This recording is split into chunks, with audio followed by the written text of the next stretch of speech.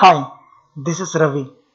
In this position, it is white to play and checkmate in 4 moves.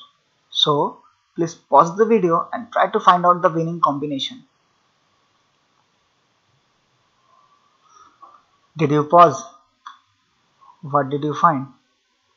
I hope you saw this combination. Rook capture f8 check.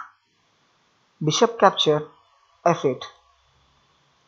Queen cross f8 check. King capture f8. And now the key move bishop h6 check.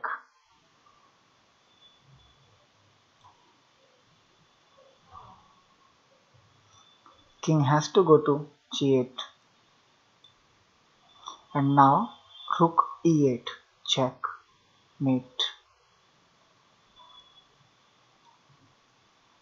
hope you like this video. Please like share comment subscribe. See you in my next video. Bye bye